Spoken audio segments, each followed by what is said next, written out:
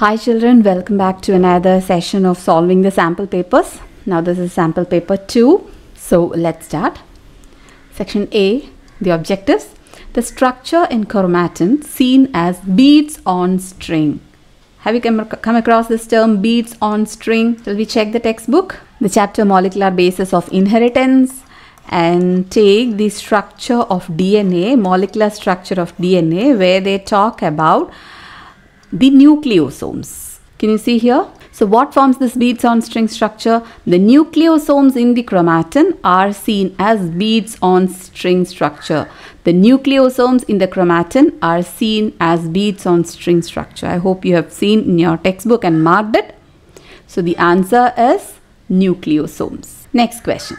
For which of the following cases population density can be easily determined by not utilizing biological entities directly? In this case, you know, uh, it is tiger census because in tiger census they do not use any of the biological entity like uh, temperature, pH or any of those uh, uh, like habitat resources or any kind of these uh, calculations or measures or parameters will be used.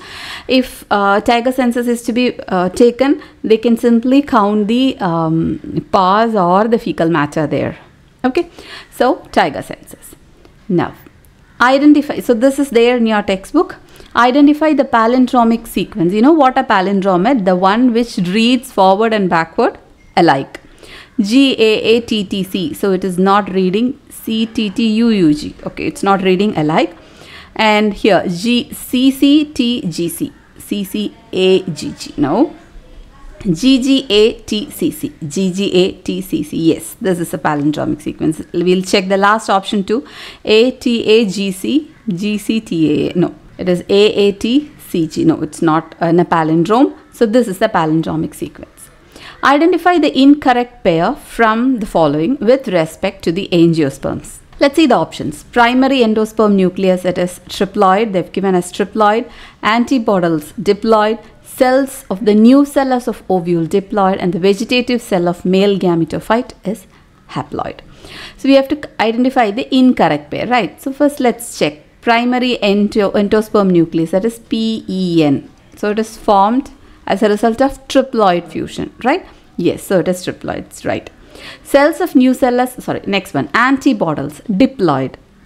Do you think the antipodals are diploid? No. All the cells in an embryo sac, actually the embryo sac, the contents of the embryo sac are all haploid in nature because after the meiotic division the embryo sac is formed so all the cells inside the embryo sac are haploid in nature so antipodals which are seen inside the embryo sac is haploid so this is actually a wrong statement Cells of the nucellus of ovule, it is diploid. Yes, it is diploid. And vegetative cell of male gametophyte N. Male gametophyte, the pollen grain has a vegetative cell and that vegetative cell is of course haploid because it is formed as a result of, so this is one of the tetrad, microspore tetrad. So it is formed as a result of meiotic division. So it is haploid.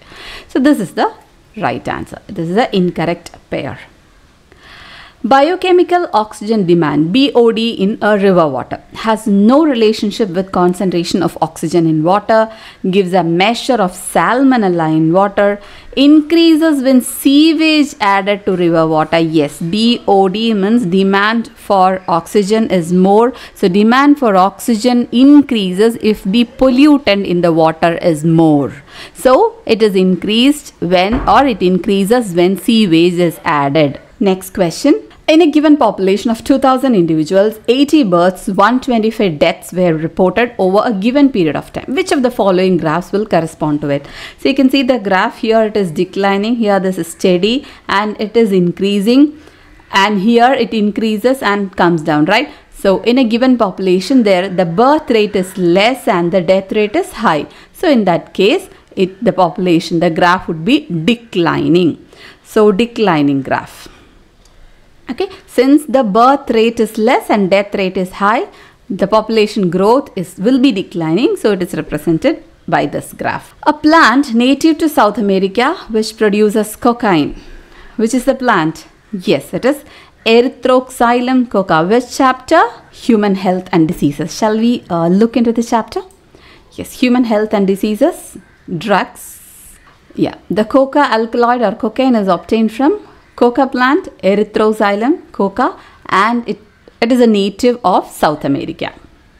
Did you all see? Please mark it down. Next question. Match the column 1 with column 2. So actually this uh, match the following is based on this figure. Fimbriae, fallopian tube, infundibulum and ampulla.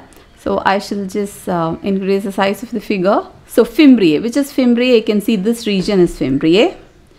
So fimbriae, it's a part, sorry, it uh, capture ova released to the coelom. So that shall be the answer, right? It can, uh, it is closer to this ovary. So uh, ovum released into the coelom. Coelom is the body cavity and that is picked up by this fimbriae. Yes. Next one, fallopian tube. This tube is the fallopian tube. So fallopian tube is otherwise called as oviduct. Yes. Infundibulum. You see infundibulum which is very much closer to the fimbriae. So part of the oviduct closer to the ovary. Yeah, it is very close to the ovary. So infundibulum it is closer to the ovary and ampulla is the region where the fertilization occurs. So ampulla, ampullary site like ampulla uh, is the site of fertilization. So what suits this answer? Uh, A 2, B1, C4 and uh, D. Yeah, D3. So option B. Option B is the right answer. Next one. Replacement of a lighter colored variety of peppered moth in England is an example of so you remember that experiment, the lighter colored variety of peppered moth uh, replaced by the dark one due to the uh, as a result of the industrial evolution? Yes, it is only by natural selection. It's an example of natural selection. The inoculum added to the fresh milk in order to convert milk into curd. So the inoculum, What what is meant by inoculum? Inoculum is always a starter. So here to convert milk into curd starter rich in vitamin B12 will vitamin B12 convert milk into curd or a starter rich in protein or it is lactobacillus lactic acid bacteria or is an aerobic digester. Yes, it is lactobacillus bacteria. So lactic acid bacteria, a starter containing millions of LAB. This is also there in your textbook. Shall we check? The chapter microbes in human welfare, we'll see the statement given there.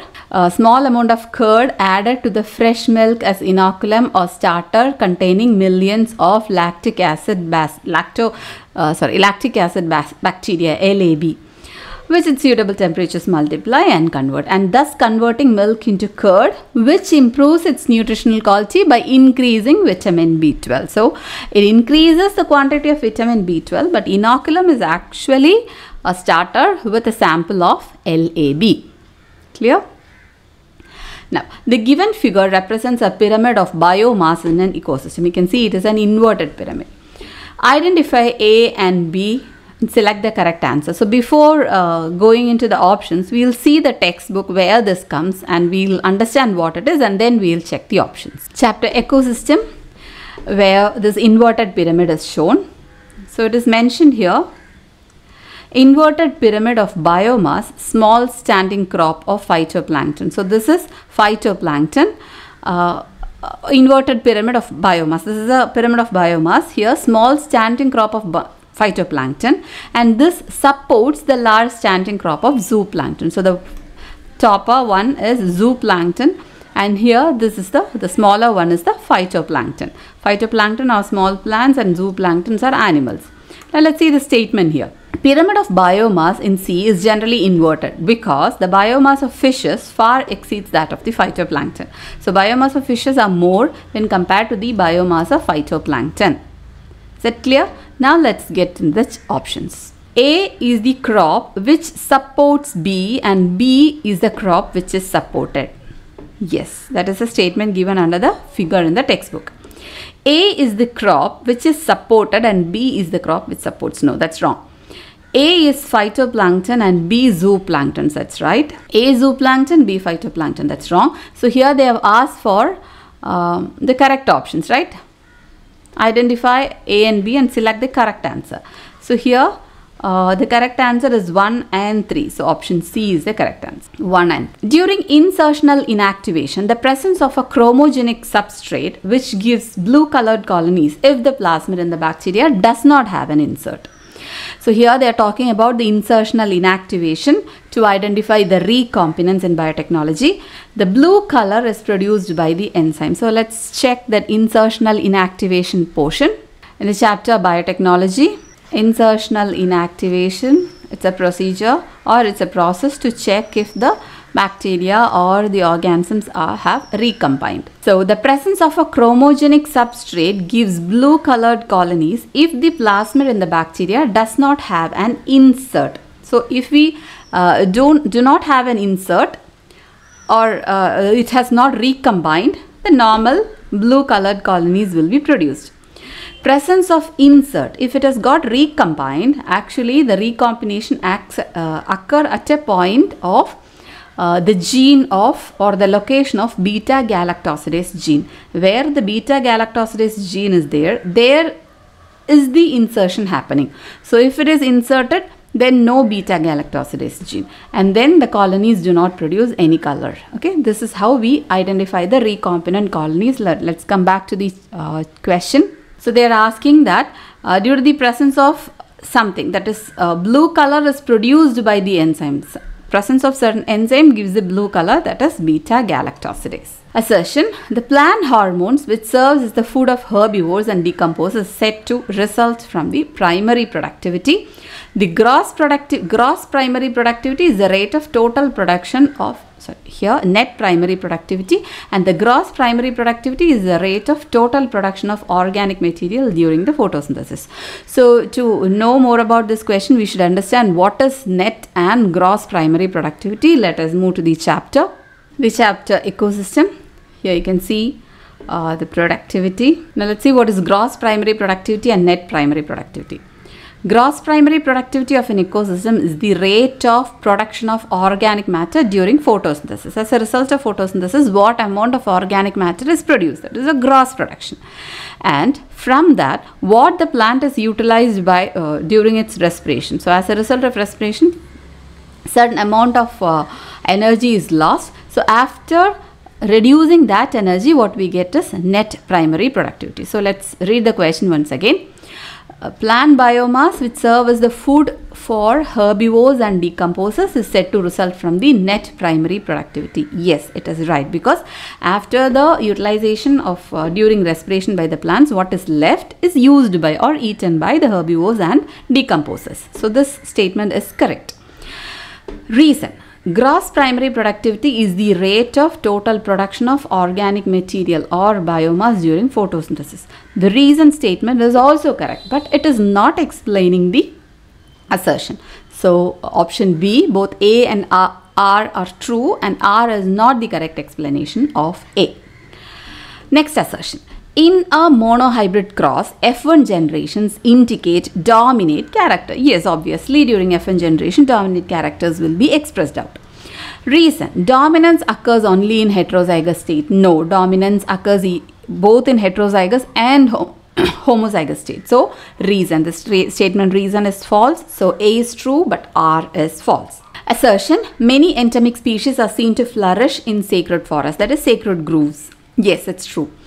Reason Sacred forests are undisturbed forest patches and biodiversity rich areas. Yes, it's right, and that's why many endemic species are found there. So, both A and R are true, and R is the correct explanation of A. Next question assertion the primary productivity of different ecosystem can be easily compared magnitude of primary productivity depends on the photosynthetic capacity shall we check the textbook? So just now we have uh, learned from the ecosystem about the productivity the same chapter same page. Here they have mentioned what is primary productivity. So primary production is defined as the amount of biomass or organic matter produced per unit area over a time period by the plants during photosynthesis. The whole biomass in that area. That's what we mean by primary production. So assertion statement the primary productivity of different ecosystem can be easily compared. Okay. The rate of biomass production. So it is the biomass actually. The rate of biomass is called productivity and it is expressed in the terms of grams or year per year okay? Uh, so to compare the productivity of different ecosystems so we can actually easily compare we have measurements to compare the primary productivity. So the first statement is true second statement that is the reason. The magnitude of the primary productivity depends upon the photosynthetic capacity of the producers. Uh, yeah the same statement is given here somewhere. Yeah. The primary productivity depends on the plant species. It's given here. Depends upon the plant species uh, inhabiting a particular area. Yes. So assertion true reason true but reason is not explaining the assertion. Okay. So here if they talk something about the gross and net it should be something explaining the statement but they are not explaining the statement. These two are uh, individual or independent correct statements so both a and r are true but r is not the correct explanation of a. Now let's move on to this section b first question